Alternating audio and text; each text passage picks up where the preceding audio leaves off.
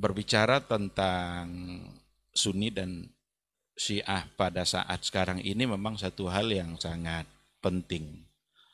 Karena sudah mulai dangkal pemahaman orang hari ini tentang perbedaan itu.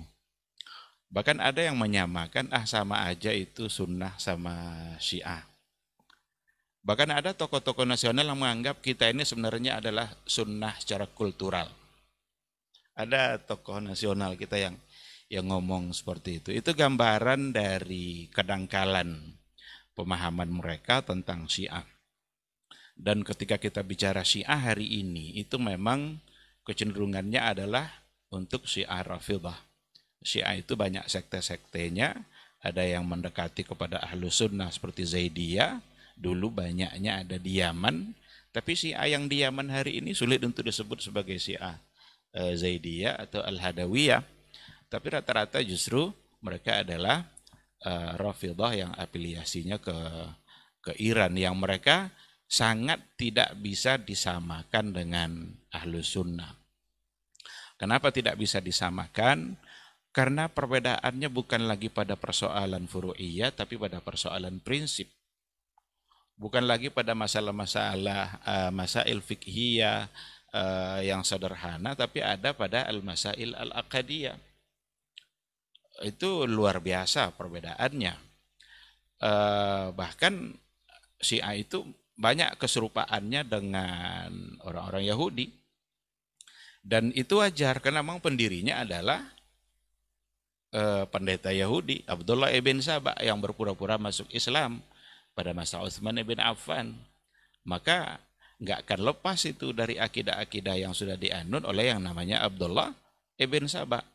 Bagaimana dulu kebiasaan orang Yahudi mentahrif Al-Quran, ada yang dalam bentuk tahriful meng menyelewengkan, merubah ayat-ayat, begitu juga orang-orang orang-orang Syiah uh, hari ini gitu. Uh, Syiah Rafidah uh, maksudnya. Bahkan bukan lagi sekedar merubah, ada yang mereka rubah, ada yang mereka buat ayat-ayat baru. Ada namanya surat Al-Wilayah. Ada surat Al-Wilayah itu beberapa ayat yang kata mereka ini diturunkan kepada Fatimah itu tidak ada pada mushaf yang diturunkan kepada Rasulullah Shallallahu Alaihi Wasallam. Yang mereka rubah juga ada. Kuntum khaira ummatin ukhrijat linnas. Oleh orang Syiah apa? Kuntum khaira a'immatin ukhrijat linnas.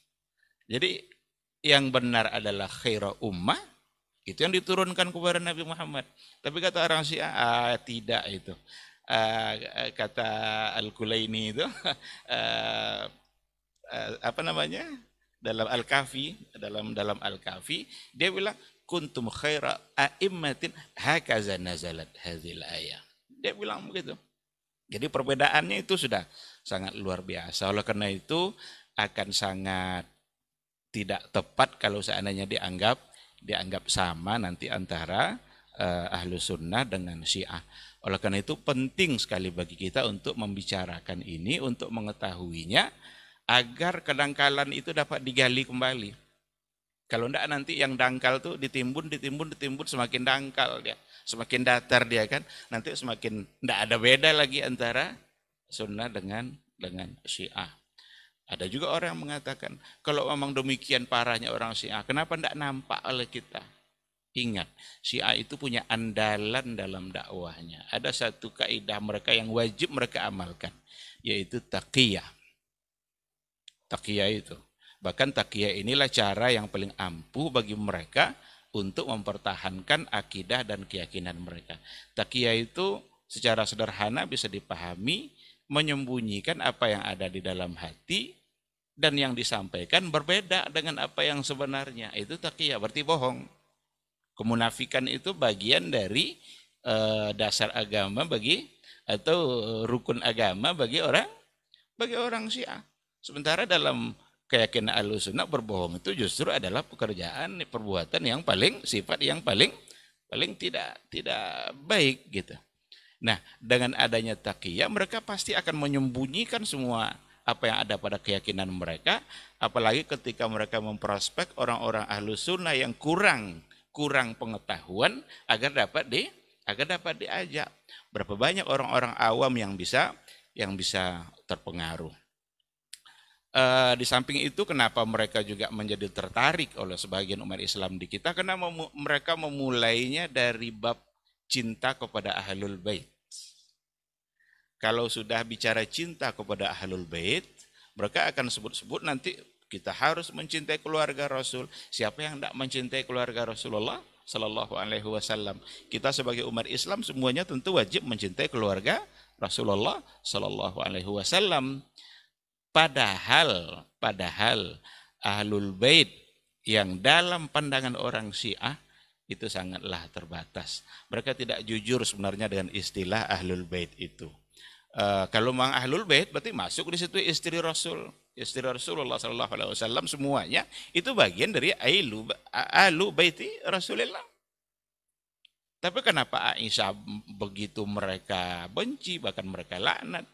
bahkan mereka juga menuduh bahwa Aisyah lah penyebab kematian Rasul. Ini kan ini kan tuduhan-tuduhan yang sangat tidak benar gitu. Maka Ahlul Bait yang bagi orang Syiah itu hanya terpaku pada ya yang pertama tentu Rasul sendiri. Eh, kedua Ali, Fatimah, Hasan, Husain. Ini saja. Lalu bagaimana Ahlul Bait yang lain? Mereka tak singgung-singgung. Jadi ini aja yang mereka yang mereka eh, apa namanya yang yang ingin mereka coba cintai. Tapi karena mereka membahasakan dengan ahlul bait, maka gampang orang terpengaruh. Plus dengan konsep takiyah yang mereka yang mereka terapkan. Eh, di kita di Indonesia ini nampaknya akan semakin mendapat tempat ini orang-orang Syiah ini. Pertama mereka takiyah, kedua juga mereka cinta alul bait, mereka mengucapkan syahadat juga yang seolah-olah mereka tetap sama dengan ahlu sunnah. Kenapa mereka mendapat tempat? Karena istilah moderasi agama yang dikembangkan sekarang itu dipahami secara luas bahkan menyimpang. Kalaulah mau dicoba pahami baik-baik sesuai pada jalurnya moderasi agama bisa benar, tapi bisa salah oleh orang-orang yang tendensius. Oleh orang-orang yang memang punya tujuan-tujuan tertentu. Ini Syiah mendapat tempat di sini. Kita harus saling menghargai, kita tidak boleh saling menuduh, kita nggak nggak boleh apa namanya itu eh, saling menyalahkan. Coba ketika tidak boleh saling menyalahkan, coba apa jadinya? Nggak boleh kita bilang Syiah salah. Maka ini kalau tidak dipahami secara baik, Syiah akan menjadi apa Indonesia akan menjadi ladang subur bagi bagi Syiah. Ditambah dengan ditambah dengan ada kemiripan-kemiripan amalia Syiah dengan kebanyakan masyarakat muslim Indonesia. Jadi Syiah itu mudah berkolaborasi, Syiah itu mudah eh, bersan, eh, duduk bersanding dengan muslim Indonesia karena ada kesamaan tadi. Apa contoh kesamaan? Uh, haul umpamanya. Indonesia begitu suka dengan haul-haulan itu. Syiah hari ini bagi Syiah ini haul akbar. Karena haul itu sungguhnya juga berasal dari dari Syiah. Kenapa haul akbar? Ini adalah hari di mana mereka memperingati wafatnya Husain. Jadi hari Asyura itu oleh orang Syiah adalah memperingati hari wafatnya wafatnya Husain. Dan mereka tidak lagi menganggap Husain itu sebagai seorang eh, apa namanya eh, sahabat cucu Rasul, tapi mereka justru menempatkan Husain itu malah bisa lebih dari Nabi sendiri. Mereka orang-orang Syiah kalau datang ke kuburannya Husain itu labbaika ya Husain, labbaika ya Husain. Mereka yang minta-minta justru memintanya kepada kepada Husain, bukan lagi kepada Allah. Itu bisa kita lihat video-video yang yang viral gitu. Nah, kesamaan ini membuat mereka bisa mendapat tempat. Maulidan umpamanya. Tokoh-tokoh Indonesia juga mengakui kalau Maulidan itu asalnya dari dari Syiah. ah, jadi mendapat tempat jadi seolah-olah sama. Ah. Contoh lain, Syiah akan sangat bisa berdampingan dengan orang-orang sufi dan orang-orang tarikat karena ada kesamaan. Apa kesamaan Syiah sama Sufi itu? Al-ghulu. Ada pada hulu. Kalau orang Syiah itu hulu pada imam-imamnya, Itu bagi orang-orang Syiah, imam itu sama dengan nabi. Perkataan imam adalah perkataan nabi. Karena uh, imam itu, para imam itu itu adalah orang-orang yang maksum yang tidak bersalah. Bahkan agama ini mestilah hanya diriwayatkan melalui jalur jalur imam-imam itu. Kalau ada hadis-hadis yang tidak melalui jalur imam, maka mereka tidak akan mengamalkannya. Maka bagi orang-orang Syiah, Sahih Bukhari, Sahih Muslim, Abu Daud, Tirmizi itu tidak ada apa-apanya tuh. Ah, mereka buat-buatlah nanti riwayat yang baru yang semuanya palsu.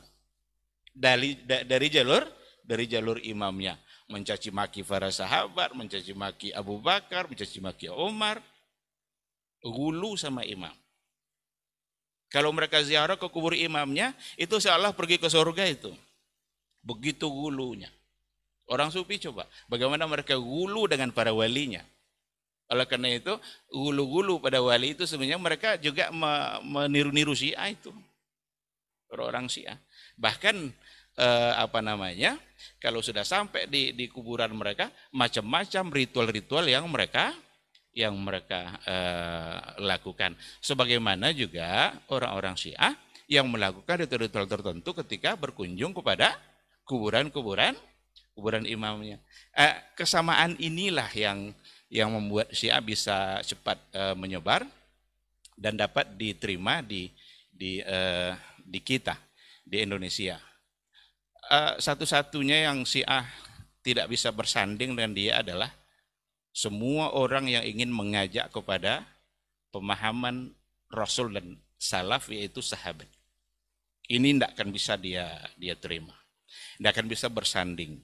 Ketika ada orang yang mengajak, ada dai yang berdakwah mengajak kepada kembali kepada Quran dan Sunnah, kembali kepada manhaj salaf, Rasul dan para sahabat, ini nggak bisa orang-orang Syiah untuk menerimanya. Kenapa demikian? Mereka aja benci sahabat, Bagaimana mereka bisa bersanding dengan orang yang mengajak kepada kembali kepada sahabat. Sementara menurut mereka sahabat itu adalah murtad semua. Dan itu dalam hadis mereka.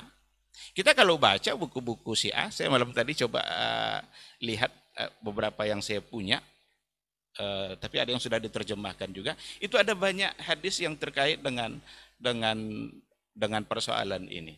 Semua sahabat Rasul itu setelah wafatnya Rasul irtaddu illa salasa. Semua mereka jadi murtad kecuali tiga saja.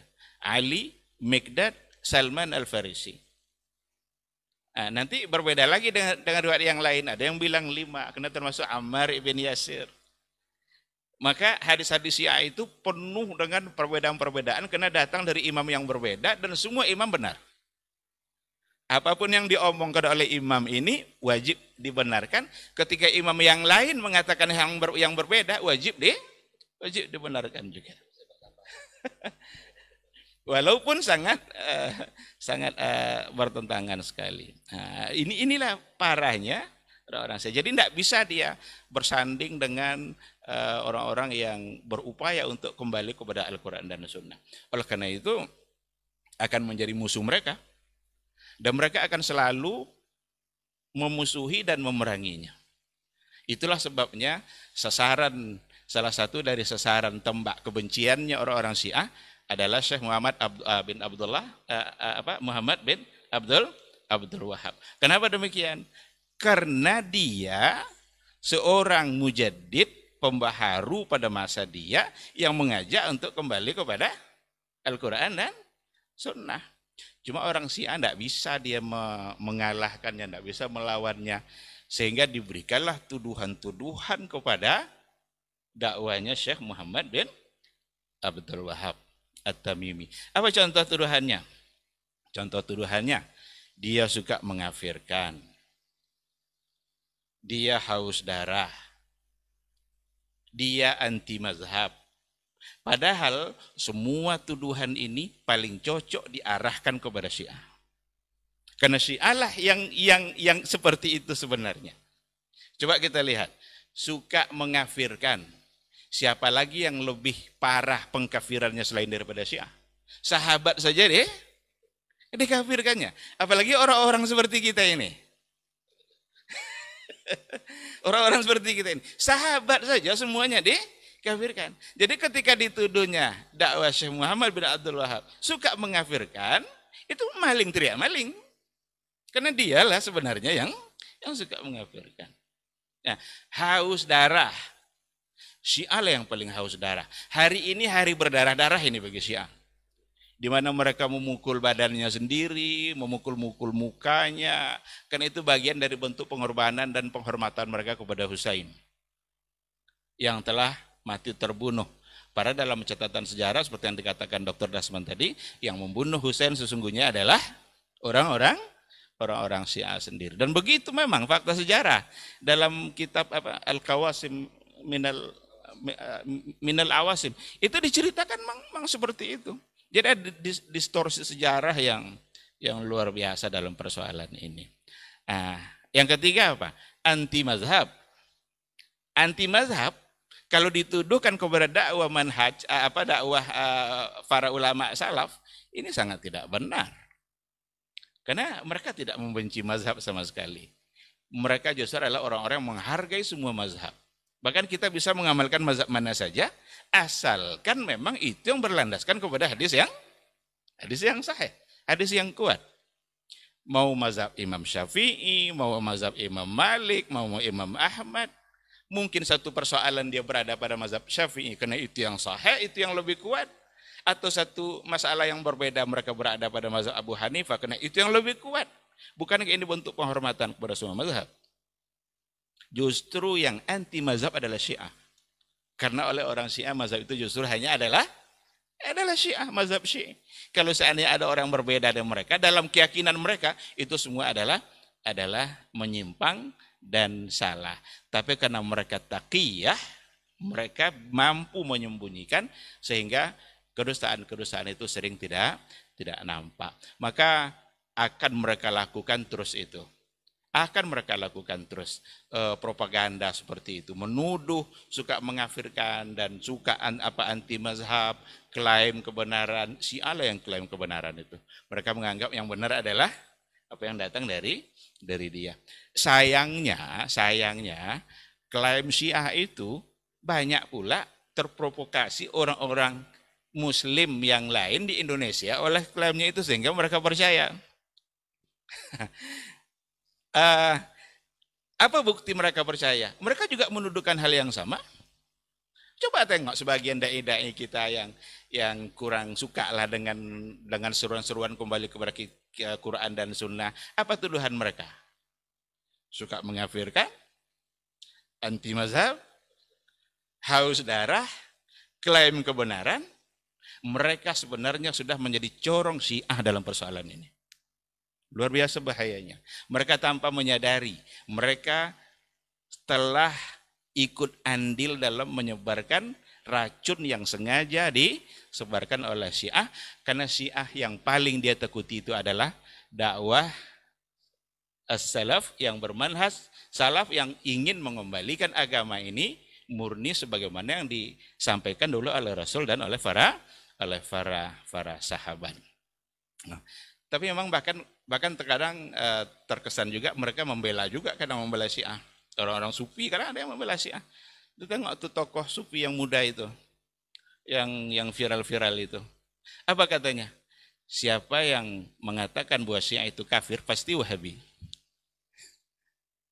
Padahal persoalan ini bukan sekarang.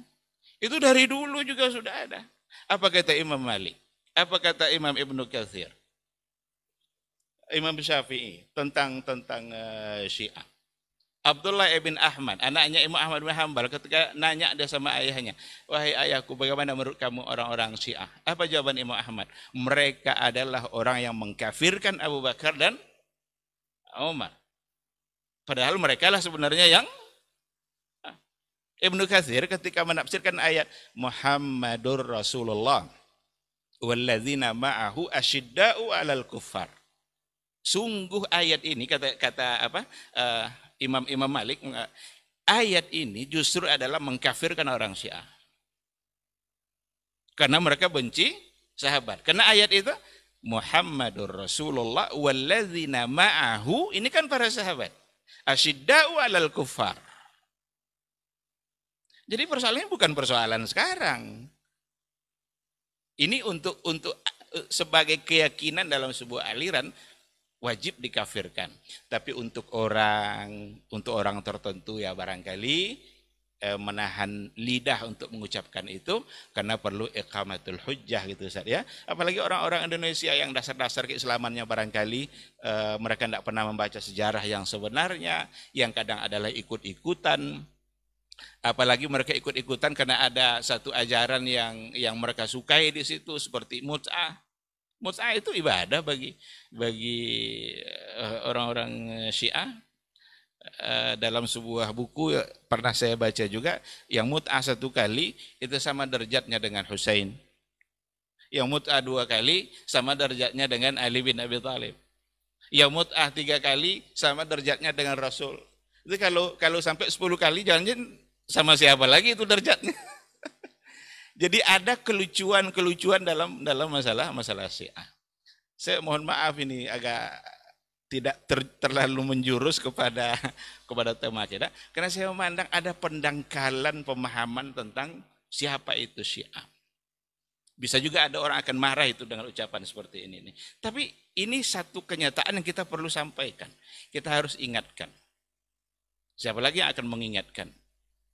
Kalau ditunggu mereka sadar, ya disadarkan oleh ada yang mengingatkan agar tidak terlalu agar tidak uh, terlalu jauh. Karena kita sesama muslim harus saling mencintai dan salah satu dari bentuk cinta kita adalah saling menasehati ketika ada di antara ikhwah-ikhwah yang yang tersalah. Kita juga mengingatkan, jangan sekali-kali cepat-cepat menuduh dakwah yang mengajak kepada Quran dan Sunnah lalu diberikan tuduhan-tuduhan sebagai anti mazhab, suka mengafirkan, eh, klaim kebenaran, itu semua adalah tuduhan kelompok Syiah kepada kelompok orang-orang yang memiliki konsep yang benar dalam dalam uh, berdakwah. Nah, jadi uh, ikhwati fillah para masyayikh, para ikhwah sekalian, mari sama-sama kita menyadari permasalahan ini secara secara baik. Maka uh, yang terakhir barangkali ya saya sambungkan juga dengan judul kita ini bahwa orang Syiah menganggap hari Asyura adalah sebagai hari hari berkabung di mana mereka eh, apa namanya eh, mengingat kembali apa yang terjadi pada sejarahnya Hussein meskipun sejarah itu sebenarnya adalah sesuatu yang sudah didistorsikan. Padahal orang-orang ahlu sunnah mengerjakan puasa pada hari ini karena Rasul mengatakan saya lebih pantas untuk menghargai Nabi Musa daripada orang-orang orang-orang Yahudi. Orang Yahudi sendiri kalau ketika mereka berpuasa karena Musa di Nabi Musa di diselamatkan itu cerita tadi kan sudah sudah uh, panjang lebar. Tapi orang-orang Syiah ternyata punya pandangan yang yang lain. Dan pandangan yang lain itu tentu saja diawali oleh banyak usul syariah yang datang dari orang-orang Syiah yang sangat tidak bisa dibenarkan apalagi ketika mereka mengkafirkan para para sahabat-sahabat Rasul yang mulia. Karena mengkafirkan sahabat sesungguhnya adalah ingin menghapus Islam di muka bumi. Kenapa demikian? Sahabat adalah orang termulia yang hidup bersama Rasul Sahabat adalah orang yang menyaksikan langsung turunnya wahyu. Sahabat adalah orang yang tahu dia ini ayat ini kepada siapa turunnya. Ini ayat ini maksudnya apa? Mereka lah yang diberikan pesan oleh Nabi untuk menyampaikan agama ini kepada generasi berikutnya. Uh, Liubalik asyahidu minkumul gaib. Kan itu pesan Nabi. Bahkan itu ada pesan Nabi pada akhir-akhir hayat Rasulullah Shallallahu Alaihi Wasallam. Hendaklah yang hadir sekarang sampaikan kepada yang gaib. Yang gaib itu di antaranya adalah generasi berikutnya. Kalaulah seandainya sahabat itu dikafirkan, dihukumkan kufur, berarti syahadatnya tidak bisa diterima riwayatnya tidak bisa diterima.